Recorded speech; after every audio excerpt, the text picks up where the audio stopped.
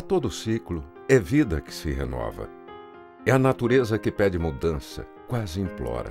E na esperança de quem planta com um olho cá, outro no futuro, tem paixão, alegria, tem orgulho e a lembrança de quem um dia passou, deixou saudade e, pela força de Deus e do destino, foi embora. A todo ciclo é vida que nunca acaba, é chão, suor, sangue, é fé inabalada.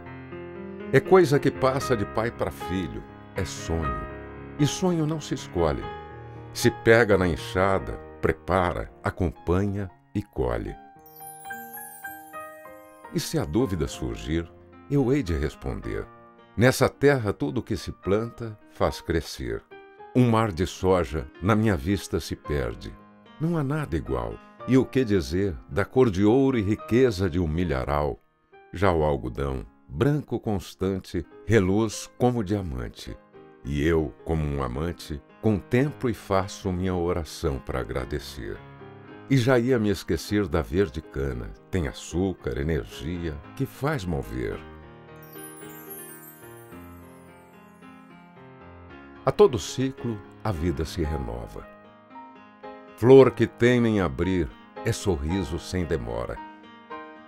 É coração que bate no peito e a gente sente no chão, no solo fértil, de onde se tira sustento o ganha-pão.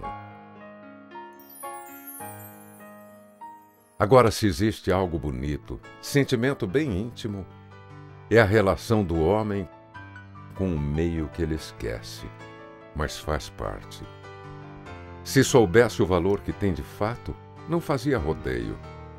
Tratava na palma das mãos, das mesmas que saem a arte. E esse respeito que se ensina nos livros, onde está? Ele é preciso. Convívio, diversidade, o mundo é feito disso.